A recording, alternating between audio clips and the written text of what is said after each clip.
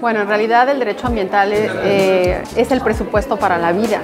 Si no tenemos condiciones ambientales eh, mínimas, básicas, pues evidentemente se compromete la salud, se compromete la integridad de las personas, se compromete la vida misma, no, no solo de, nosotros como seres humanos, sino de todos los seres vivos, de los alimentos. Este, es un tema que involucra prácticamente pues todo nuestro hacer y quehacer y, y nuestra sobrevivencia. Bueno, estamos viendo los temas de política ambiental porque son los aspectos que involucran fundamentalmente a la ciudadanía, como es la evaluación de impacto ambiental, los informes preventivos, la regulación de los asentamientos humanos, el uso de suelo, la gestión del riesgo, pensando hoy que tenemos pues toda una industria de hidrocarburos y, que muchos ductos pasan por eh, el territorio de Mexicali, pero también la gestión del riesgo asociada a cambio climático, fundamentalmente las ondas de calor y los golpes de calor, que pues ustedes bien saben que cada vez presentan más índices de mortandad en, el municipio. hay municipios que están como mucho más eh, empapados y comprometidos con la norma ambiental y con la sustentabilidad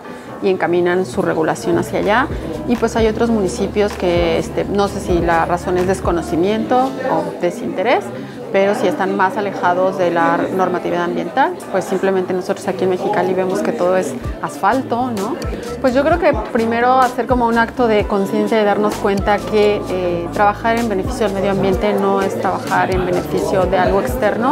sino de algo que nos va a beneficiar a nivel personal y a nivel colectivo y creo que eh, incide de manera fundamental en la calidad de vida y es algo pues, en lo que todos debemos de participar. Bueno, es un, es un referente, por eso es que estamos ahora acá, para tratar como de, de apuntalarlo. Tenemos este, la materia, tenemos profesores jóvenes, preparados, entonces creo que es importante, la matrícula es grande y eso también habla de un área de oportunidad para fortalecer. Pues en Mexicali estoy un poco impresionada por la cantidad, eh, reitero, de asfalto. Mi mensaje sería por lo menos adopta un árbol, que cada quien se haga responsable de un árbol afuera de su casa, en el patio de su casa, en la banqueta, este, no sé, en algún espacio donde podamos ir reverdeciendo la ciudad. Creo que en el largo plazo va a ser muy benéfico para Mexicali.